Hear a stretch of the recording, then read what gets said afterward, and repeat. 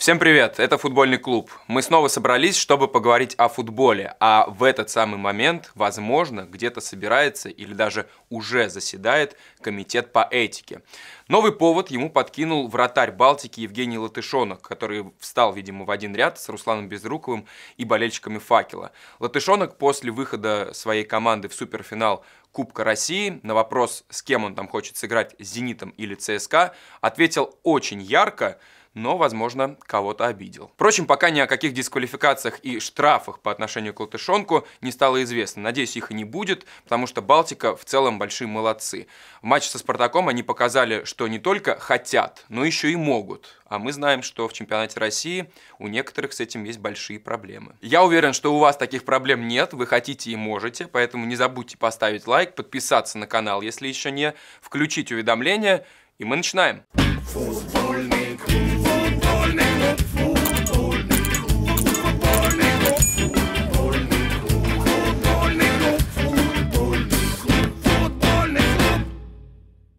Балтика на этой неделе не только впервые в истории вышла в финал Кубка, но еще раньше приняла непосредственное участие в чемпионской гонке. О Кубке мы поговорим чуть позже, начнем с чемпионской возни. Центральная вывеска тура «Зенит» дома принимал ЦСКА и проиграл. Проиграл команде, для которой кубок был важнее, чем чемпионат, но при этом э, состав ЦСКА и решение Владимира Федотова стало приятным откровением, потому что за исключением, по сути, одной позиции, вратарской, у армейцев был самый, что ни на есть, основной состав. Почему же Федотов поступил именно так? Ведь кубок для него остается, по сути, последней возможностью спасти сезон. Здесь есть место только нашим догадкам, но, кажется, гегемония «Зенита» надоела не только болельщикам клубов, но и многим представителям. И единственное, что нельзя делать ни тем, ни другим, это шутить на эту тему и распевать кричалки, а то потом придется извиняться. Заслуживает отдельного слова, конечно, Владислав Тороп, который провел восхитительный матч и стал одним из главных героев этой победы ЦСКА. Но вспомните, вообще-то после одного из своих сейвов в конце игры Влад неудачно сыграл на выходе и чуть было не привез гол в свои ворота. Владимир Федотов после матча был очень осторожен в оценках э, своего молодого вратаря и вообще он его практически не хвалит. Единственное, на чем делает акцент Федотов, так это на том, что Игорь Акинфеев полностью здоров, он готов играть, но при этом в старте у ЦСКА на важный матч против «Зенита» выходит молодой вратарь. О чем это может говорить? Наверное, о том, что Игорь Акинфеев совсем скоро будет завершать свою большую и великую карьеру. А мы знаем, что через этот этап э, великие игроки проходят по-разному. Кто-то скандалит, кто-то не может принять свой новый статус. И вот здесь хочется выразить уважение Игорю Акинфееву, который помогает своему клубу и своему молодому сменщику пройти этот очень сложный этап максимально безболезненно и без больших потерь. Кстати, основную часть выпуска мы пишем еще до матча «Зенита» и ЦСКА, но реплика по этой игре у нас обязательно будет. А кто ее запишет, вы узнаете чуть позже. Пока же вернемся к матчу этих команд в чемпионате, ведь все самое интересное было после игры в раздевалке «Зенита». Там состоялся настоящий разбор полетов. Хотя полеты, наверное, не самое подходящее слово, потому что там был скорее разбор падения. Александр Иванович Медведев пришел в раздевалку и назвал футболистов «Зенита» импотентами. Этого, конечно, никто не слышал и не видел, ну, сами понимаете, все-таки дело интимное, но так говорят. И еще говорят, что Александр Медведев специально для легионеров э, расшифровал, что он имел в виду. Импотенты – это те, кто хотят, но не могут. В этом вопросе, конечно, Медведеву лучше довериться, он человек все-таки опытный и уже возрастной, но вообще-то Сергей Симак вот несколько туров назад говорил, что проблема как раз обратная, что очень тяжело своих футболистов, уже все выигравших, мотивировать. То есть они все-таки могут, но не хотят. Вот как это тогда называется? Ну а если Медведев все-таки поставил правильный диагноз, то «Зениту» идеально подойдет один человек, который на всю страну уже однажды показал, что с потенцией у него проблем нет вообще никаких. Тем более, что летом у него заканчивается контракт с «Локомотивом». Э, как выяснилось, до января в Китай он уехать не сможет. Ну так почему же не воспользоваться моментом? Пока же «Зенит» выбрал другое решение. Руководство петербургского клуба, от лица которого выступает э, Елена Илюхина, такие проблемы, о которых говорит Александр Медведев, не знакомы. Она захотела поднять зарплату тренерскому штабу и основным игрокам, она это и сделала. На эту тему очень обстоятельно высказался автор «Спорца» Александр Дорский. Зайдите в его телеграм-канал, почитайте, если интересно. Он заметил, что под это описание ключевых футболистов подходит, например, Вендел, Клаудиньо, Бариос, то есть те футболисты, с которыми и так, вот буквально несколько лет назад, «Зенит» уже продлевал контракты. И это что же получается? «Зениту» бы сейчас взять, вдумчиво всех посмотреть, а он берет и просто всех продлевает, в том числе и тех самых импотентов, о которых говорил Александр Медведев. А еще «Зенит» таким решением подставил Матч ТВ, с которым у них, по сути, один и тот же хозяин – «Газпром». Вот сами подумайте. Российская премьер-лига видит, что «Газпром» выделяет дополнительные деньги «Зениту» на увеличение зарплат штабу и игрокам. И, естественно, она приходит к Матч ТВ и говорит – мы хотим больше. И РПЛ точно знает, что «Газпром» может, но хочет ли – как мы выяснили, в Петербурге с этим есть большие проблемы. А теперь давайте поговорим о команде, которая, в отличие от «Зенита», точно хочет. И это чуть ли не главный фактор ее успеха. «Динамо» на выезде обыграла «Балтику», хотя проигрывала к 90 минуте со счетом 1-2. Давайте признаемся честно, разве «Динамо» играла лучше «Балтики»? Конечно, нет. И проигрывала по ходу матча тоже по делу. Но мы всегда говорим о том, что важное качество чемпиона – это способность добывать очки и побеждать в плохих матчах. У «Зенита» раньше была такая способность, сейчас она пропала. И даже у Краснодара в этом сезоне такая сверхспособность тоже была. Правда, при Владимире Ивиче. После прихода Мурада Мусаева ее тоже не стало. И вот «Динамо» в последних двух матчах эту сверхспособность нам ярко демонстрирует. И вообще после усреднения уровня команд в РПЛ на первый план выходит именно психология и именно мотивация. Кроме того, у «Динамо» есть ярко выраженный лидер, это Константин Тюкавин. Есть ли такой в Краснодаре и «Зените»? По мастерству, конечно. У «Зенита» это, например, Клаудиньо, у Краснодара это, допустим, Эдуард Спиртян. Но так уж получается, что в сложные моменты ни один, ни другой за собой повести команду не могут. А Константин Тюкавин с этой ролью в своем очень молодом возрасте справляется практически идеально. И вот до конца чемпионата остается всего два тура. И все равно сказать, кто станет чемпионом, очень сложно. Ясно одно, станет им не самая мастеровитая команда, а, во-первых, самая голодная, и, во-вторых, психологически устойчивая. И последнее очень важно – ведь московская «Динамо» почти весь сезон было в роли догоняющего, и эта роль шла динамовцам э, идеально. Марцел Личко, например, после поражения от Урала, которое стало третьим в серии, э, вообще вычеркнул «Динамо» из претендентов на чемпионство. Он сказал, что теперь мы боремся только за третье место. Но сейчас «Динамо» главный фаворит. Всего 4 очка до чемпионства. В таком статусе динамовцы э, не ходили не то что в этом сезоне, они уже не помнят, когда они были в таком статусе вообще и не затрясутся ли они. Краснодар вот, например, с такой ношей не справился. Но, с другой стороны, и дистанция у них была всяко длиннее, чем теперь у «Динамо». Посмотрим, справится ли «Динамо», но если получится, то это будет во всех смыслах уникальное чемпионство. Во-первых, 48 лет ожидания. Во-вторых, если «Динамо» станет чемпионом, то опять не попадет в Еврокубки, как было э, во времена предыдущих чемпионств.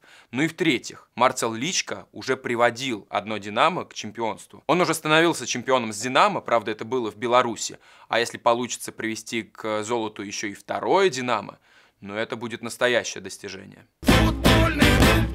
А теперь давайте поговорим про наиболее актуальные новости. Балтика выбила «Спартак» и стала финалистом Кубка России впервые в своей истории.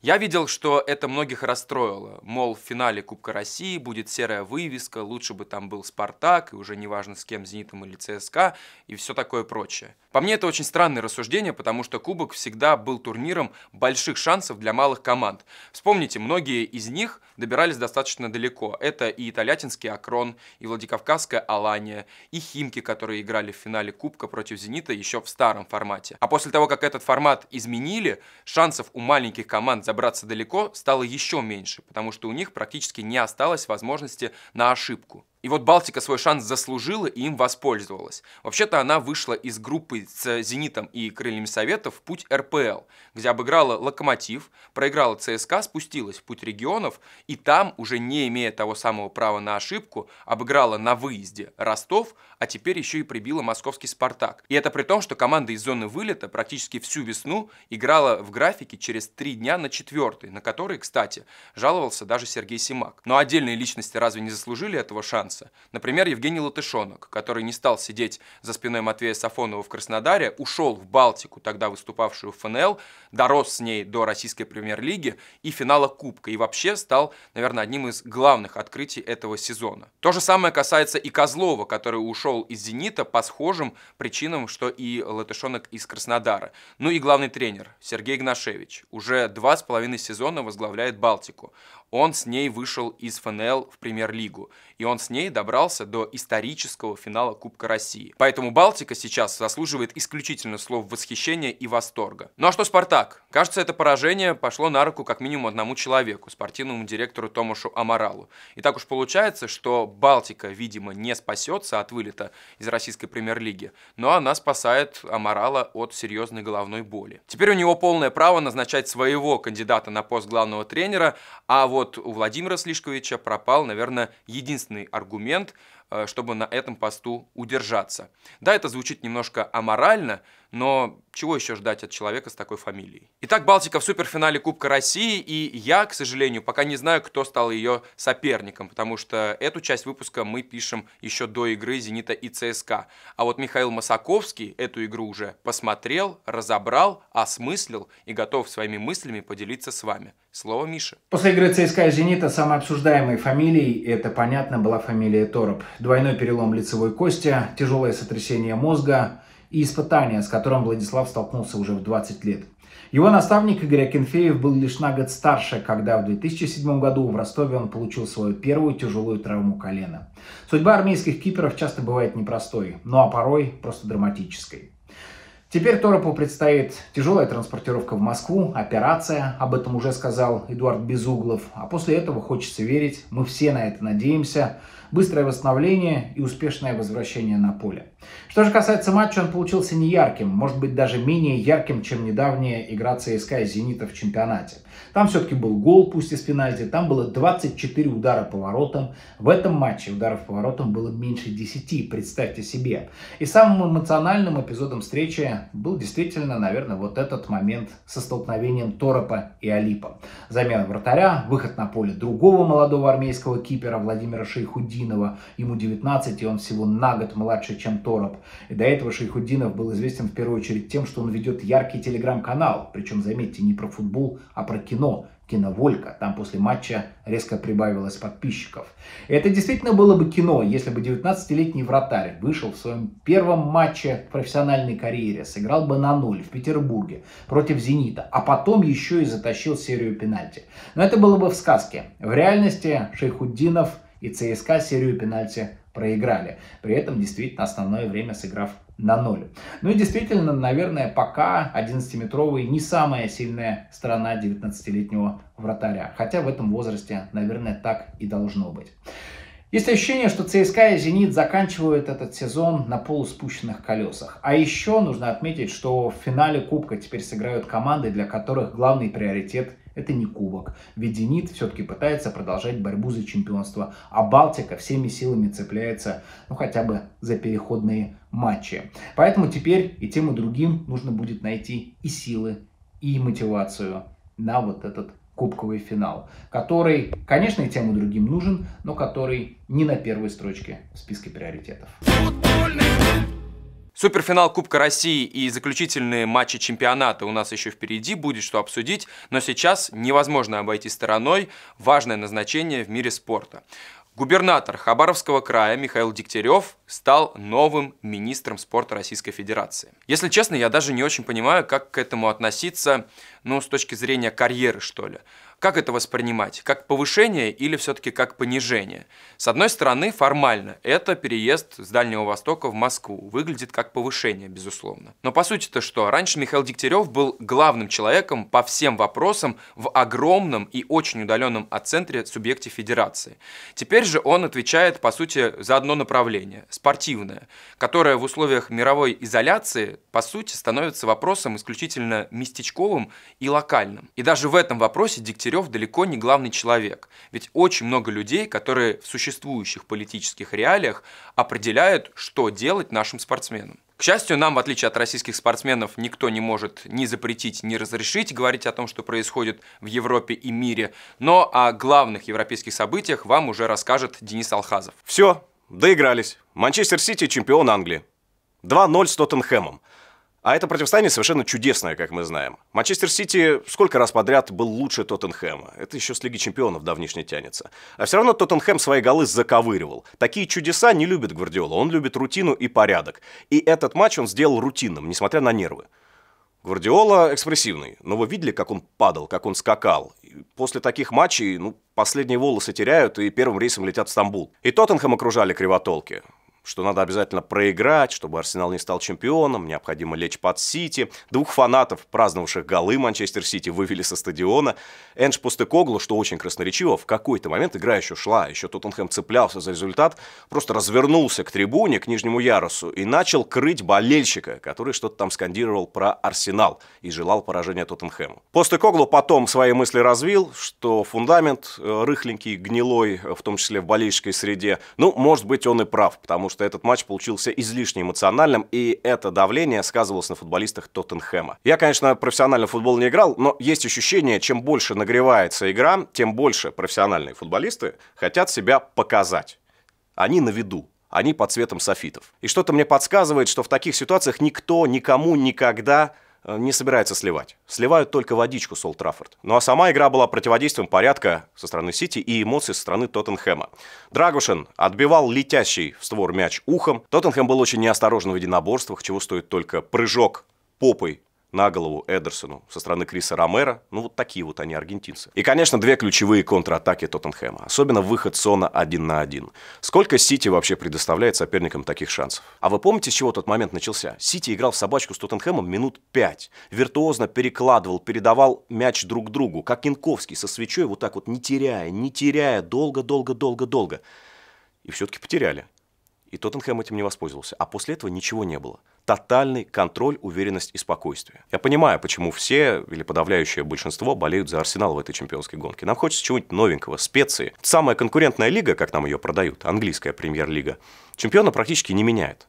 За семь последних лет только раз Ливерпуль по-настоящему сбросил Манчестер Сити с их насеста. И этот Сити на самом-то деле не впечатляет. Ну не 100-очковый Сити, не искрометный Сити. Это команда энергосберегающих режимов, и они их переключают. Они не бегают до вратаря в прессинге. Они компактно оборонялись и ждали, пока Тоттенхэм ошибется с первой передачи. И Тоттенхэм регулярно ошибался. И опять же, они просто сушат игру, привычным владением. На эмоциях ни один чемпионат не выигрывается. Это длинная, нудная дистанция. И Гвардиола уже давно зарекомендовал себя как настоящий кенийский бегун. Арсенал мы хвалим весь сезон и с удовольствием их смотрим весь сезон. Выиграть чемпионат спустя 20 лет после непобедимых – это было бы достойно. Ну, послушайте, сколько лет Ливерпуль ждал своего титула? Сколько лет уже ждет Манчестер Юнайтед? 11. Офигеть. Арсенал 20. Челси сколько ждал? Сити. Ну, это немного другая история. Но эти же клубы, они никуда не пропадали. Они всегда под чемпионами. Они где-то рядом, они в Лиге чемпионов. У них огромная болельческая база. И даже после таких сезонов, когда до титула дойти не удалось, мне кажется, болельщиков у команд прибавляется. Так что все хорошо будет у Арсенала. С другой стороны, это очень неприятно, это выматывает. Ты все хорошо делаешь, но вот твой соперник чуточку лучше, и он, зараза, ни разу не подскальзывается. Вот вообще никак. Стоит твердо на ногах. Может быть, мы немного торопимся, подводя итоги чемпионской гонки, ведь еще остался один тур. И все-таки Арсенал Немного фарта, но заслужил. Только-только появилась новость. Вулверхэмптон, клуб английской премьер-лиги, инициирует отказ от ВАР в турнире. Напомню, правила голосования просты. 14 клубов из 20 в лиге должны поднять большой палец. Отвар нужно предложить вот таким вот ретроградом. Действительно, Вулверхэмптон в этом сезоне немало пострадал, и другие клубы пострадали не из-за ВАР, не из-за технологии, которая мнится многим дьявольской совершенно, а из-за тупости судей, которые не договариваются между собой, не слышат друг друга, принимают неверные решения, а у них при этом есть подстилка из скольких? Шести-восьми мониторов и повторов. Это как злиться на автомобиле. Ездят, воздух отравляют, автокатастрофы случаются. Но управляют-то ими люди. Почему бы Волверхэмптону не вспомнить, что некоторые британские судьи за несколько дней э, до тура просто гоняют в Саудовскую Аравию, там посудить и немного потусоваться. И самое главное, что звучит в конце заявления Волверхэмптона, пресловутый дух игры портит вар. Что такое дух игры? Мне никто вот не объяснил до сих пор за 28 лет, что такое дух игры. Это буфона не удалять? Это Костоломов не замечать? Вот что такое дух, душок, душица этой игры? Я не понимаю. У каждого своя правда и свой душок. С тем же успехом Волверхэмптон мог предложить э, отменить Астон Виллу. Соседи как-никак, и есть некоторая футбольная вражда. Почему? Астон Вилла попала в Лигу чемпионов. Колоссальное достижение для бирмингемского клуба и для Унай Эмери. И в целом, если взглянуть на футбольную Европу, везде распускаются цветы. Везде команды открытия, которые добыли потом, трудом и феноменальной игрой путевки в Лиге чемпионов. Астон Вилла, Жирона, Болония, Брест, Штутгарт и Байер, конечно. А у нас еще Динамо может стать чемпионом, но Еврокубки это как бы, сами понимаете. И тут напрашивается глубокий вывод. Неужели европейский футбол наконец обновляется? Как 60 лет назад. Совершенно другие клубы выступали в Еврокубках и добивались там успеха. Сейчас многие из них это просто окаменелости. Неужели привычных грандов, топов, толстосумов подвинули и растут новые силы? Астон Вилла защищена от посягательств прочной фунтовой оболочкой. У них самих деньги водятся. Байер, слава тебе Господи, сохраняет Хаби Алонсо и развивает футбольный проект. За спиной Жероны сильная метрополия в лице City Football Group. А вот Брест и Болония сорвут эти цветы и засушат в гербарий. Отдадут сильным мира сего. Тяга Мота перейдет наверняка в Ювентус. Это был одноразовый праздник для жителей этих городов и болельщиков этих клубов. Надеюсь, что ошибаюсь. С другой стороны, есть пример, дарующий нам надежду. Это, конечно, Аталанта. Вспомните, сколько там лет назад? Лет семь назад это была неукротимая сила, составленная из отверженных футболистов Иличич, Папу Гомес, Ремо Фроллер, Мартен Дерон. Сейчас Аталанта очень сильно изменилась, но Аталанта вновь добивается успеха. Она будет играть в Лиге Чемпионов. Она снова подарит городу праздник. Я был в Бергамо, и весь город топит за свою команду, а после прохода финал Кубка Италии той же самой многотысячной толпой резво пьет в местных барах. Подробнее о Кубке Италии прямиком из Рима, из вечного города вечный Владимир Стагниенко. Вот там до сих пор еще некоторые футболисты Юве с кубком фотографируются. Это видно на Олимпийском стадионе. Ну да ладно, закончился финал. Э, конечно, можно посочувствовать Аталанте, потому что э, нельзя, играя с Ювентусом, позволять э, навязывать себе стиль игры Ювентуса. А пропустив очень быстрый мяч, Аталанта оказалась фактически от Ювентуса, от Ювентуса зависима. А это крайне сложная история и неблагодарная. Перед матчем говорили, что вот Скамаки нет, может быть, это и не так плохо, что можно играть на скорости. Но когда ты пропустил, и Ювентус обороняется там двумя линиями защитников очень плотно, нужен именно человек, который будет проламывать эту оборону, пробивать там как-то разрушать. И такого человека в конечном итоге у Аталанта все-таки не нашлось. Да, сделал Гасперини во втором тайме замены, и, в принципе, какой-то результат был. Был момент у Миранчука, было попадание Лукмана в штангу, в концовке вот эта история, но там, правда, по-моему, было нарушение правил. Но и Ювентус, там и гол не засчитали, и падение одно было довольно спорное, и попадание в перекладину просто Миретти невероятное. То есть я к тому, что еще непонятно, кто был ближе к забитому мячу. Аталанта к первому, к первому или Ювентус ко второму. Но Ювентус в очередной раз доказал, что равных нет этой команде, если говорить об умении добиваться результата. Это, конечно, команда очень практичная, циничная и масштабнейшая, ну, великая команда. Интересно, что будет в следующем сезоне. Мне все-таки почему-то кажется, а, что вот эти все менеджеры во главе с Джунтали а, на Аллегри уже не очень рассчитывают. Посмотрим. Но это мои какие-то ощущения, не более того. Хотя я бы еще раз обратил ваше внимание на то, что перед Аллегри ставили три задачи перед началом сезона. Работа с молодыми, ну он сколько молодых играет. А, возвращение в Лигу чемпионов, вернулись в Лигу чемпионов. И трофей. Ну вот вам, пожалуйста, трофей Кубок Италии.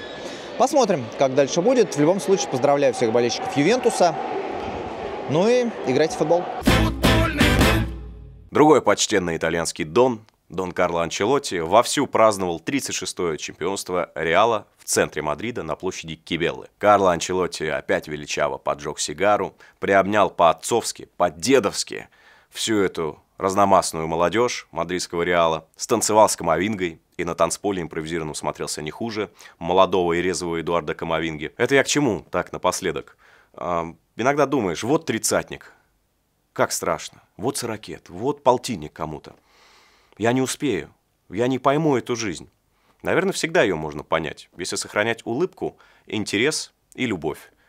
К молодым, средним, старым и в первую очередь к футболу. Это рецепт Карла Анчелотти и рецепт Васи Уткина. На этом все. Играйте в футбол.